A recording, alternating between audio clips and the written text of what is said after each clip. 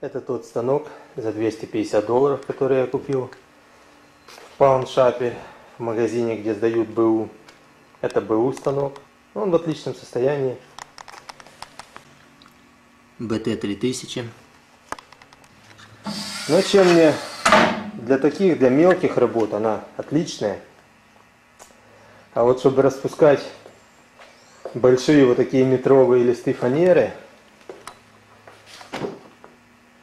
то мне уже этого станка мало. Я решил его чуть-чуть модифицировать. Сделать наверх огромный стол. У Олега в компании вот эти листы из стеклотекстолита. По-моему, он стеклотекстолитом называется. Их хотели выкинуть. Они у него уже год там стоят на мусорке. Я говорю, Олег, что они стоят? Давай я их заберу. А он говорит, забирай, потому что через неделю-две приедет контейнер мусорный, и их туда забросят. То я у него забрал, и вот с этих листов я буду мудрить такой стол, чтобы я мог большой лист положить, и на подшипничках он себе и отрежется. Алюминиевые трубы, вернее это алюминиевый квадрат трубы для направляющей. Отличная направляющая будет длинная. В магазине купил несколько направляющих специальных, вот с таким профилем.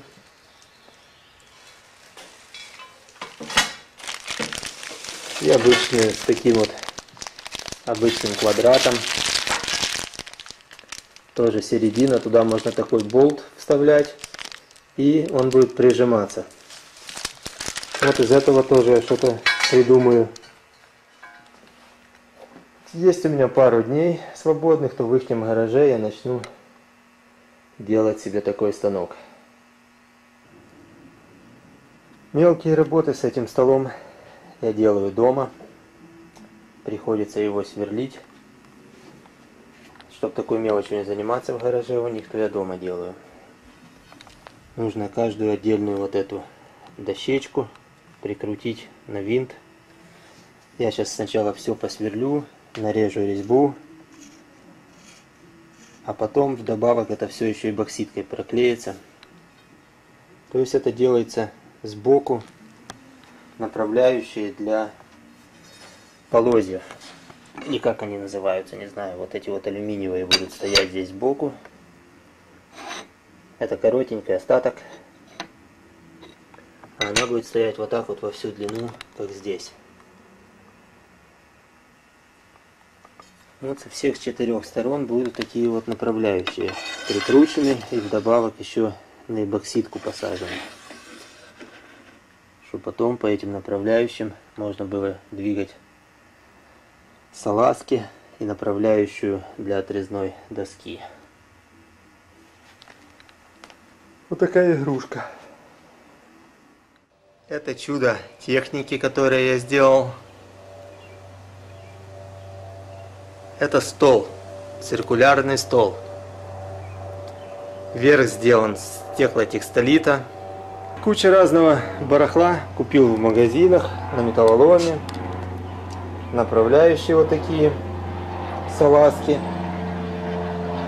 Линеечка самоклеющаяся наклеил. В две стороны читается. В одну сторону можно читать и в другую сторону. Покрыл ее лаком. Надо еще будет пару слоев дать, чтобы она не царапалась. Такая же линейка с той стороны. То есть можно эту направляющую выставлять по одной стороне выставил и по другой стороне подогнано точно. Ну, когда я отрезаю, вот если я поставил себе на 6, отрезаю доску, четко ровно 6. Станок сам, это вот основание станка там снизу прикреплено. Тоже его покрыл таким пластиком. Эту вот сменную пластинку, если лезвие ставится широкое, то она меняется тоже покрыл пластиком, чтобы ничего не царапалось, чтобы ничего не оставляло след на древесине. Потому что это была алюминиевая поверхность, она оставляла след на древесине. И вот эта алюминиевая направляющая, квадрат такой алюминиевый, он с одной стороны прикручен в таропластовый такой кусок. Специально продается в магазинах таропласт. Для того, чтобы поверхность не царапалась и не оставляла след. А эта сторона у меня осталась алюминиевая. Я ее разворачиваю, когда надо. Сюда заходит пила под 45 градусов. И когда я прогоняю лист фанеры, он точно-точно по самому краю снимает 45 градусов. Вот этот сам станок под низом стоит. Все его родные направляющие оставлены на месте. Вот они.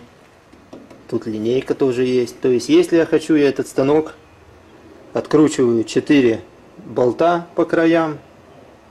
И с этой вот рамы снимаю этот станок. Ставлю на пол. На него цепляю еще. Те, что раньше вы видели разные направляющие, и получается обыкновенный станок.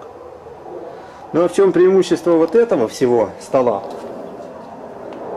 Сейчас вы увидите.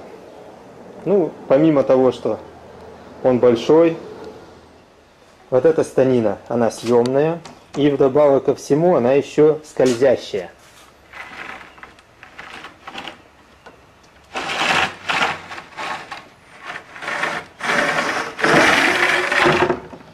То есть я могу положить какую-то доску и точно ее отрезать.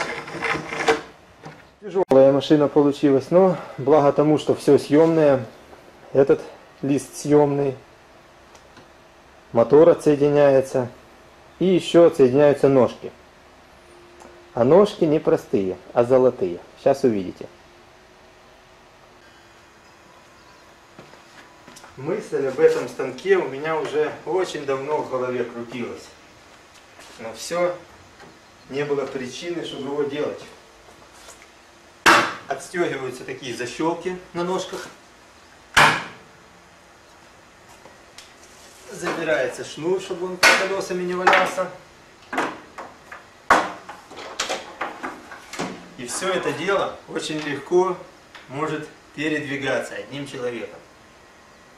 Вот это самое большое преимущество, что ты можешь его подвинуть в любой угол, в любую сторону, под любым направлением. То есть как хочешь.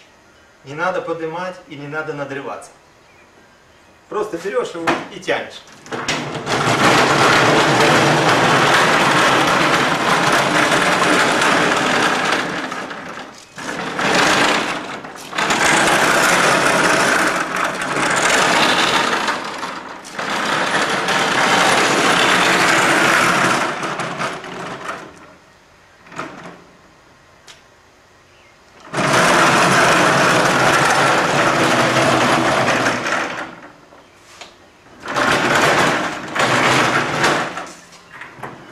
такая вот игрушка.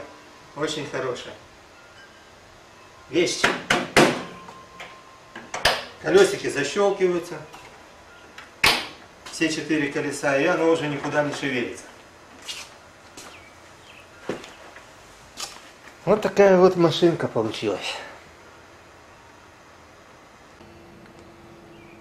Снизу вся эта площадка посажена на алюминиевую раму так что никаких перекосов, ничего быть не может. Ножки куплены на металлоломе, они из стеклотекстолита. Это стеклотекстолит, тоже очень крепкий материал. И вклеены сюда из дуба такие брусочки. А к этим брусочкам уже колесики. Вот такое колесико. Оно поворачивается во все стороны. Здесь имеются снизу зубчики. Вот они. То есть в эти зубчики входит вот эта защелка. И одновременно она вот этим вот краешком колесо стопорит. Оно из колесо стопорит и в зубчики входит, чтобы не поворачивалось. Вот я ее защелкиваю и все. Она уже еле-еле шатается, но это на движение станка никак не сказывается. Отщелкнул и можешь его куда хочешь уже двигать. Такая система. Денег, конечно, я на это вложил, так сказать, немножко.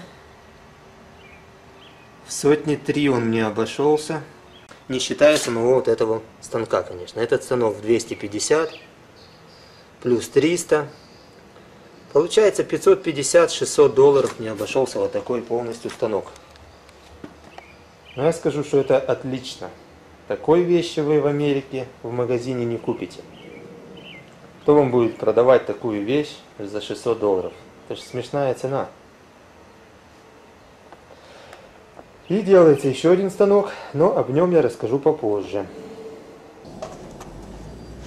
Чтобы делать разрезы больших листов, пришлось мне удлинить его немножко.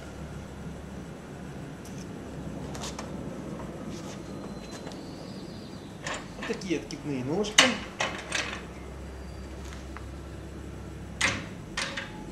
На ножках имеются уровни, чтобы можно было выставлять визуально, чисто визуально стол по уровню.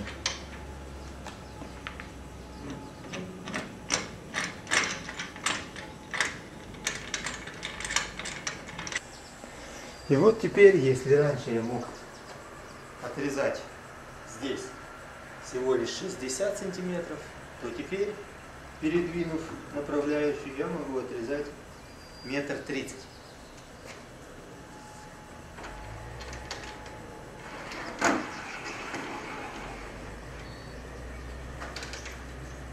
Естественно, здесь линейку я еще не клеил, то приходится размер проверять чисто по рулету.